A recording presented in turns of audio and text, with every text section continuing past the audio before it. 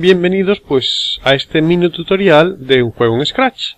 Lo que vamos a ver es cómo hacer un juego de captura. Tenemos unas pelotas que caen desde arriba, van cayendo al azar, y tenemos un gato que podemos mover y capturar las pelotas. Hay una serie de funciones que tenemos que programar para que esto funcione. Vamos a verlas.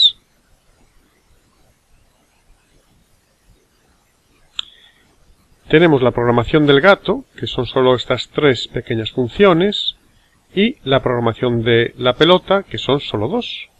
Vamos a mirar la del gato. La primera lo que hace es colocar al gato siempre en el centro de la pantalla cuando empieza el juego. La siguiente es una función que nos vale para detectar cuando pulsamos la tecla flecha derecha para mover el gato hacia la derecha.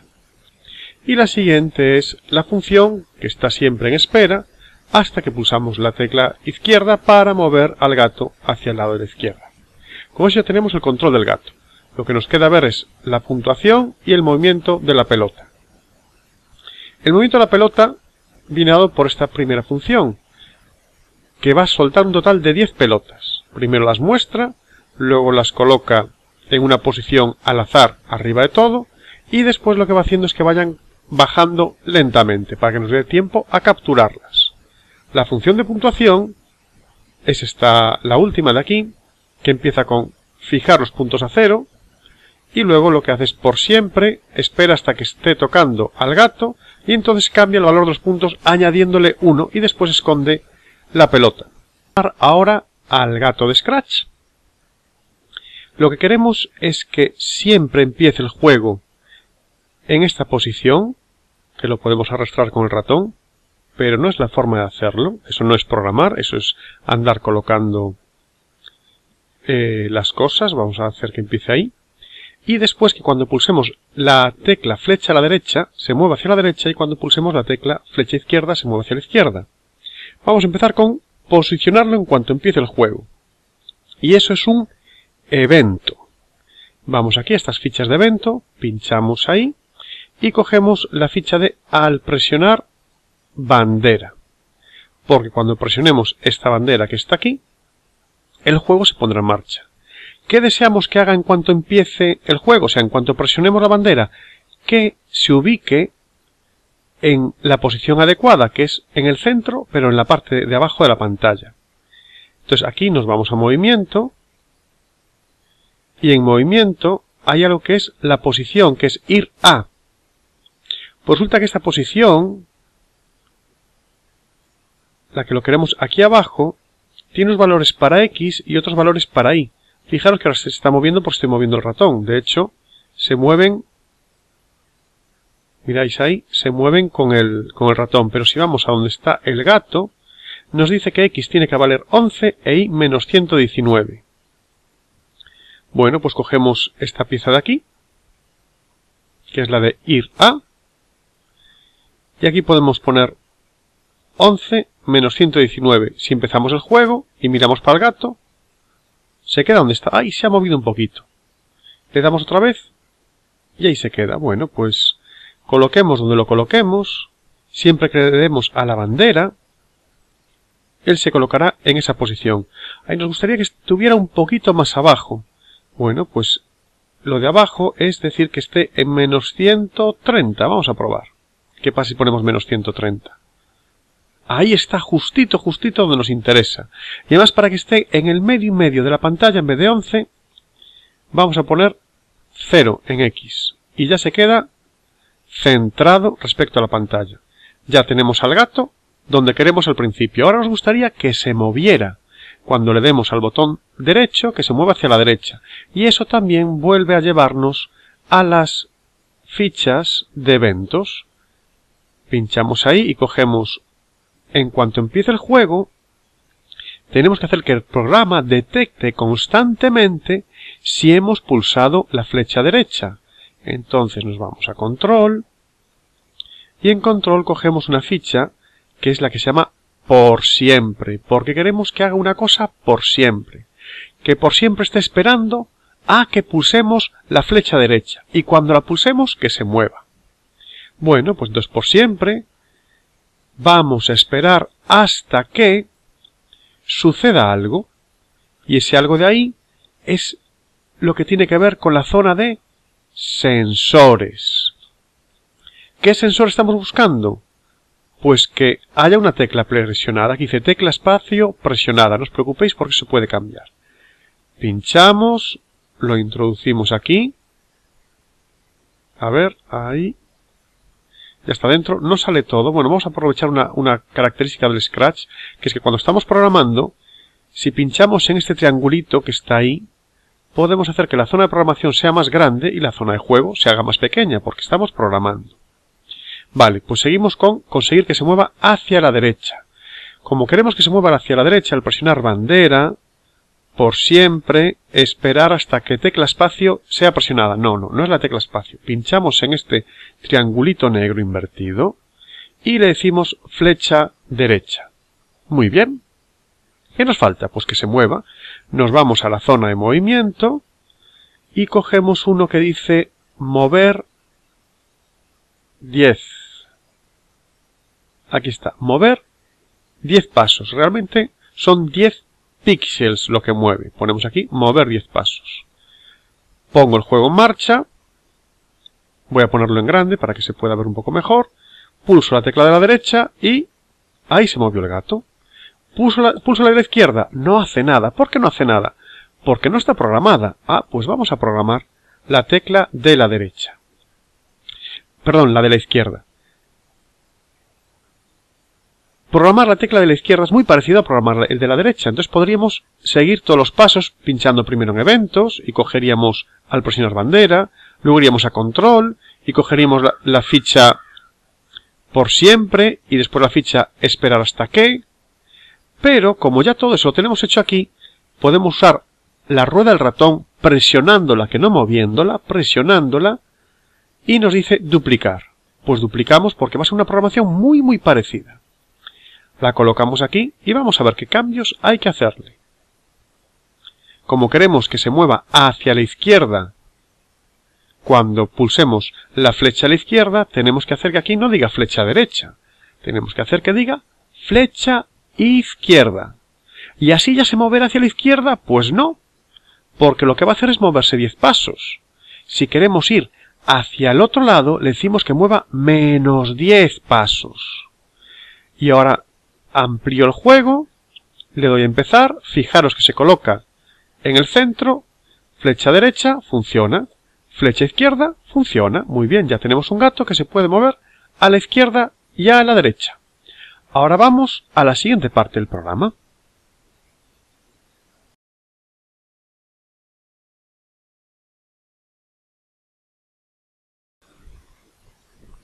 Bueno, ya tenemos programado el movimiento del gato.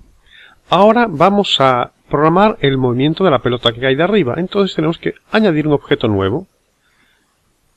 Este mini elfo azul que sale ahora vale para añadir objetos propios del Scratch. Pinchamos, se nos abre una gran biblioteca de objetos y cogemos pues un balón. Por ejemplo, este, el balón 1. No, este amarillo de aquí mejor. El otro balón es un globo. Vale. Hacemos doble clic, o si no seleccionamos y le damos OK, y aquí lo tenemos.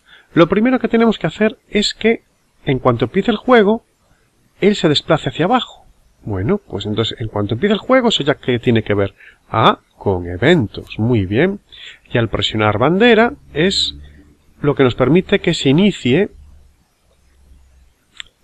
una función en cuanto empezamos el juego. Entonces, al presionar bandera, vamos a hacer que se mueva hacia abajo de forma cíclica. En todo lo que nos interesa es repetir una serie de movimientos. Repetir 10 veces que se mueva hacia abajo. Que lo tenemos aquí en control.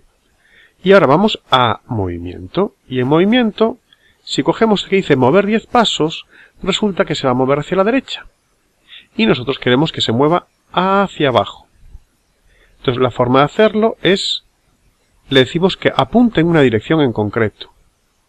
La pelota, aunque no lo parezca, tiene una dirección privilegiada, que es la de su movimiento, y es esta flechita que veis aquí.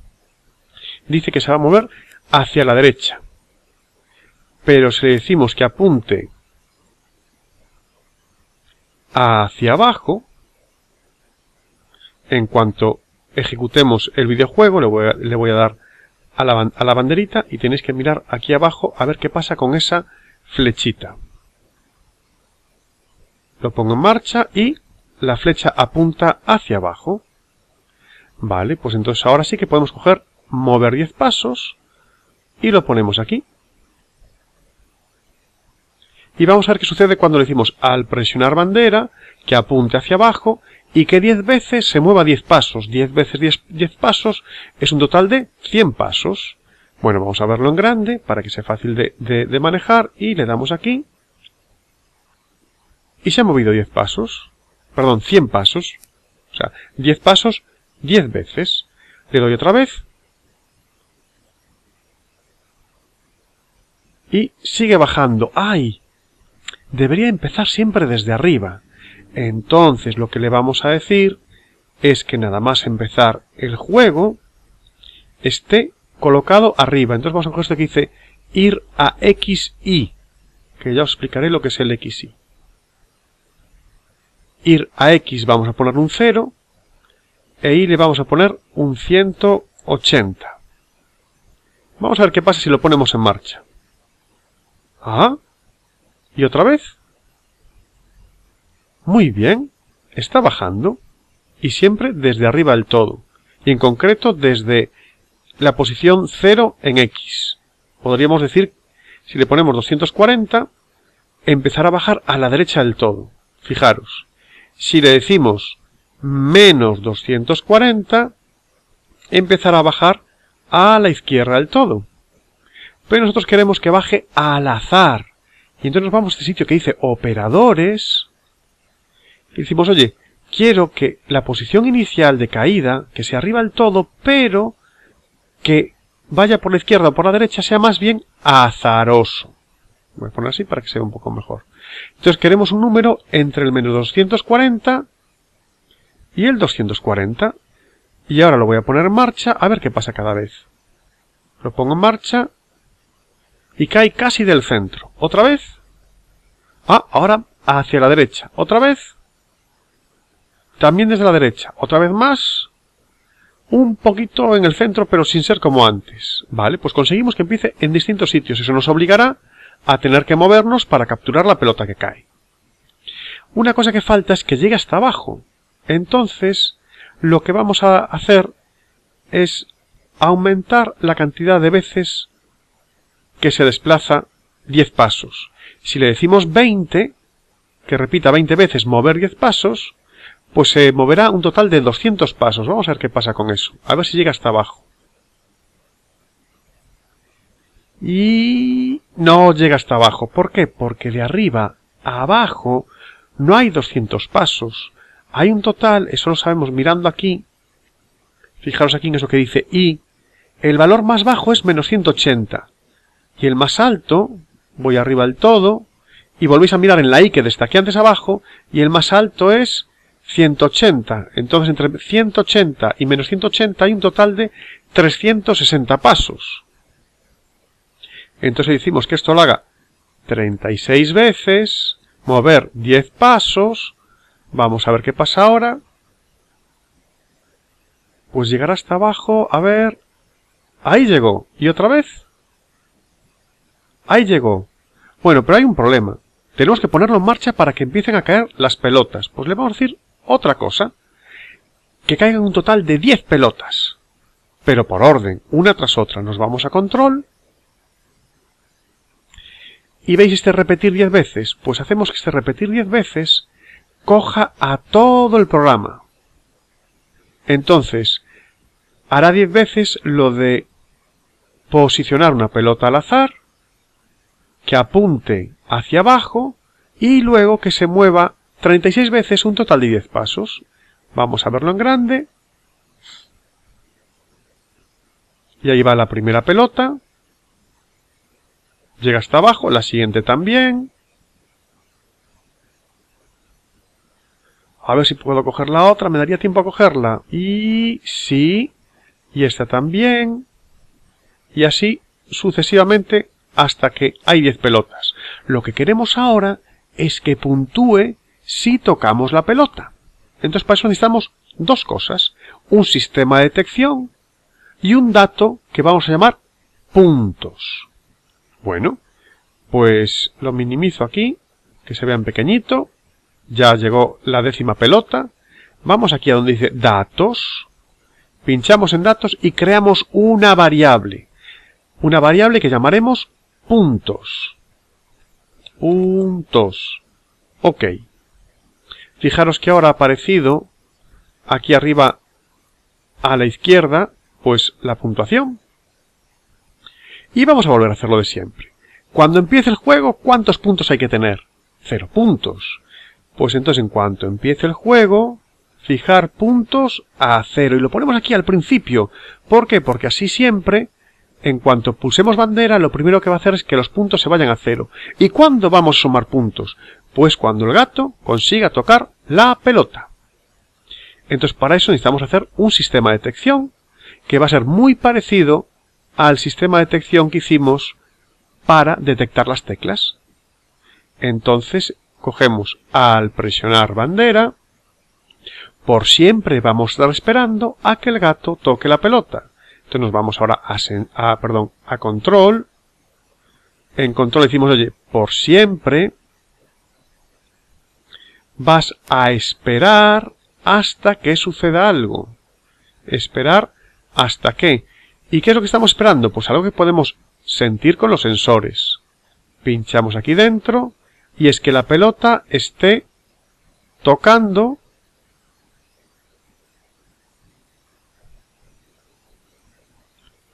que la pelota esté tocando al ratón que aquí se llama Sprite 1. Perdón, al ratón, al gato.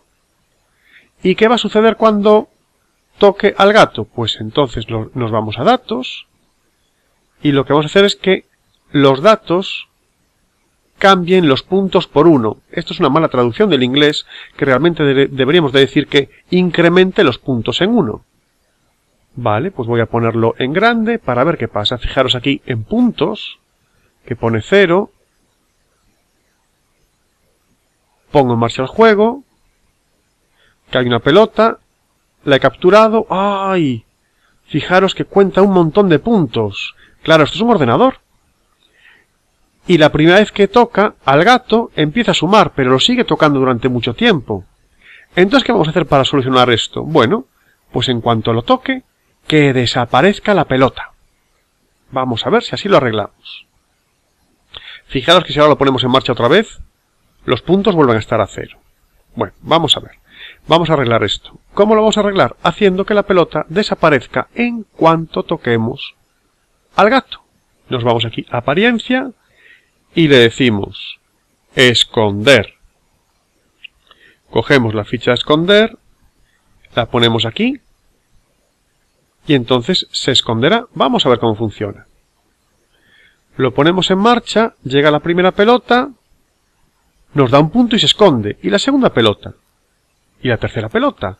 ¡Ay! Es que si hacemos que un objeto se esconda, nos va a quedar invisible para siempre, salvo que luego consigamos que se muestre. Y este mostrar lo vamos a meter aquí justo al principio del lanzamiento de pelotas. Ponemos en marcha el juego. Bueno, primero lo paro. Ahora lo pongo en marcha. Se pone a cero. Vamos a coger la pelota. Desaparece y aparece la siguiente. Desaparece y aparece la siguiente desaparece y aparece la siguiente. Bueno, pues ahora ya tenéis un juego programado sencillito. ¿Vale? Pues otro día os cuento otra cosa. Muchas gracias. Ah, no os olvidéis. Todo juego necesita tener un nombre. Atrapa pelotas y tiene que ser guardado. Guardar ahora. ¿Por qué? Porque así nunca tendréis problemas y no perderéis vuestro trabajo.